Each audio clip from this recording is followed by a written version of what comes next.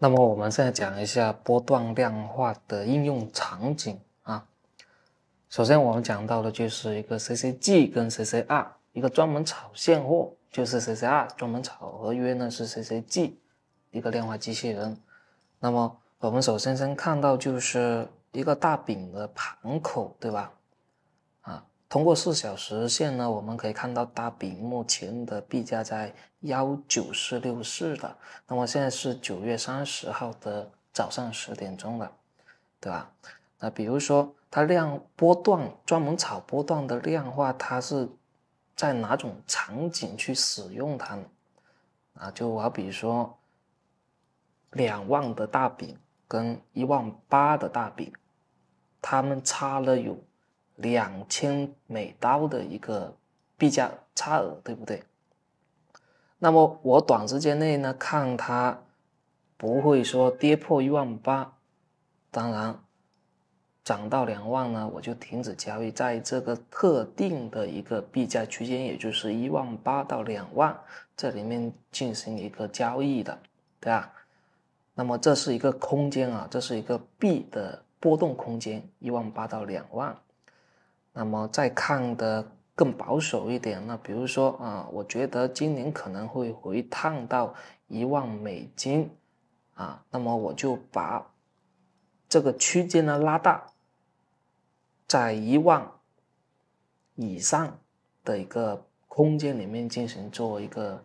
一个波段交易啊，当然就是说我先把这个策略的一个底价呢先看好，比如说一万八还是说一万，先确定好这个底价，也就是最后的建仓价之后呢，啊，那我就能够拿一个比较合理的方案去交给量化机器人，全自动去索取这里面的波段一个利润空间。嗯，那我们现在呢？呃，就好比如说一万八到两万这个币价区间去做量化交易，是吧？交给机器人交易。那我们现在到机器人上面去设置一下看看。就好比刚刚我们说的一万八到两万的大饼，对吧？呃，这里面差了两千美金，两千美金算下来一万八涨到两万，那就是百分之十五的波动，差不多吧？百分之十五的波动。那我们就计算一下，如果说我打算跌百分之零点一来补一笔资金，那么一共我需要买一百五十次，就正好是在百分之十五的波动里面进行交易完这笔资金的，对吧？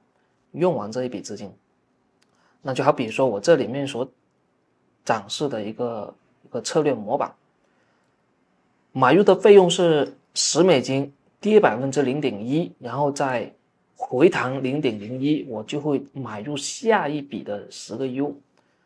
那么如果说这十个 U 赚了百分之百分之零点五的话呢，那我就会自动平仓，因为这里开了网格哈，就会把尾部那个已经盈利的达到百分之零点五的收益单，把它给自动平掉啊。然后我们可以再详细一点，如果现在一万九进场做交易。一万九跌到一万八，这个空间的话呢，仅仅只需要百分之三左右的波动幅度啊。那我们可以算一下，百分之三的情况下，零点一补一个单，那么就是只需要买三十单就可以了。买三十单，三十单，打算也是用一千五去做的话呢，平摊下来，每一笔单大概去了多少呢？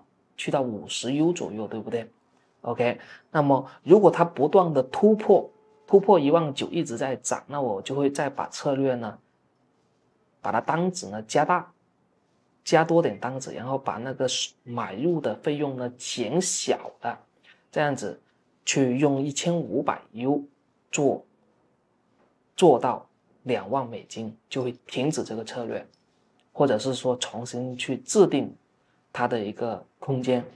也就是说，这个波段量化交易的话，你得需要在特定的一个币价区间里面去给它做交易。至于在这个特定的区间，就好比刚刚说的一万八到两万这个区间，你打算用网格去高频交易，还是说打算用马丁来进行交易，或者说三倍、四倍啊、菲波那契、卢卡斯等等的，就得看你打算用的一个方式就是说你非常看好接下来的行情，那么就用一个网格高频去刷是没问题的。那么呃，同样的，你不打算用网格的话呢，你就用整体止盈。那么整体止盈它只参考你的整体的均价，整体均价赚，比如说赚百分之一了啊，我设置百分之一了，那么它就会根据百分之一整体去平仓掉啊。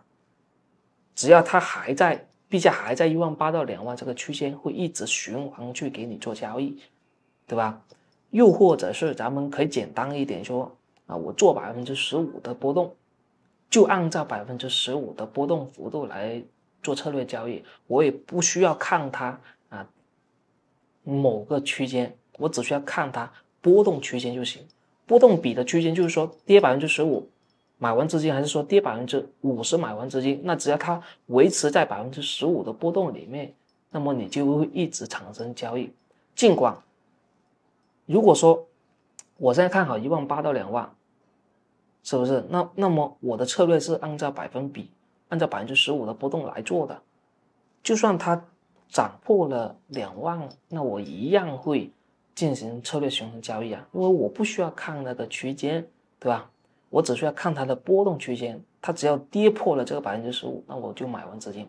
OK，这就是两种看法啊，两种看法，一个是按照百分比的波动幅度来做量化交易，一个按照币价某个币价区间来做量化交易。只需要你把这个命令设置好了，用什么方式交易，买跟卖，设置好给它，那么让量化来自动执行啊，这就是量化波动交易。那么刚刚咱们也说了，用 CCR 呢给大家去演示了一下这个玩法上面的一个一个设置。那么到了 CCG 的话，它是做合约。那比如说一样是大饼啊，我现在呢加载了做多的一个方向单，一万八。我觉得一万八跌破一万八，我可以亏损这笔钱的，对吧？因为合约它是有爆仓风险的，所以先把那个风险价呢给确定下来。一万八到两万啊，只要涨破两万的话呢，我就整体都是盈利状态。一万八到两万波动的这个过程，它用了一个月还是用了两个月呢？是吧？它通过这样的一个周期性，只要在这个一万八到两万这个区间，我会一直产生循环的一个套利空间。就好比说一万八到两万，我托管了一千五。美金，啊，采用一个被投或者是平推，好吧，那我这里就用平推，也就是每一次买入一样的资金这个方式来给大家演示，啊，那我们可以看到这里面的一个策略是很多种的，啊，我们可以自己选择，当然我也可以单个来进行调节。好的，那我们可以看到我。这里一千五美金在一万八到两万美金这个比特币空间，用一千五美金做的话呢，我一共会可以做五十八单，每一次买一单，跌百分之零点一就买，对吧？那我的最后建仓价是在一万八千一百六左右，也就是说它跌到一万八千六，我就是买完了一千五百美金的一个。一个保证金了，如果这时候还跌呢，跌到了一万八呢，那我就会止损掉这一千五美金。就好比我现在有十万美金的账号来讲，我就用一千五跑这个空间。如果说它跌破了这个一万八呢，我就会可以承受这一笔亏损，是不是啊？当然，这个玩法这个区间呢比较小，可能它的风险也就比较大。同时，如果说它一直维持在一万八以上去波动。甚至上涨，对吧？经过一定的周期，那我可能一万一千五美金已经翻倍了，是吧？主要是看这个币价最终它的一个行情走势是如何的，啊，那我只要确定好它它的一个风险价就可以了，要进行做策略哈。同时，我们也可以提前设置一个止损，或者是说超出区间呢进行止损清仓卖出，或者是说超出两万，那我就停止这个。策略的一个循环，是吧？这个就是一个波段的量化啊，这是合约的。最简单的呢，咱们就直接一键设置就可以了啊！一键设置，把这个资金填写上去，然后默认默认里面的一个保守策略，点击保存，是吧？保存完了，回到这里面的机器人页面，点击开启监控交易，那就可以了。这是最省心的一个玩法。同时呢，这里的 CCG 呢还有个顺势哈。我给大家看一下它顺势有什么不同。刚刚我们说的是逆势，那么逆势它是买错了方向，我会继续补仓，回调回来，那我就会卖出止盈。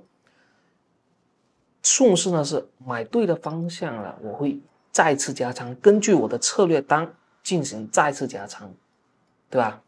看完这个视频的朋友呢，可能会问到，就是我既然看好在这个币价区间内，比如说一万八到两万，那我干脆直接在一万八的位置去买完不就行了吗？我再耐心一点，等到两万，对不对？啊，那么一样可以有这个效果啊。那为什么非要去炒这个波段，或者是说非要去呃搞个机器人来自动炒这个波段呢？OK，那么下一个视频我会。讲到这一个，他们之间的一个利弊，对不对？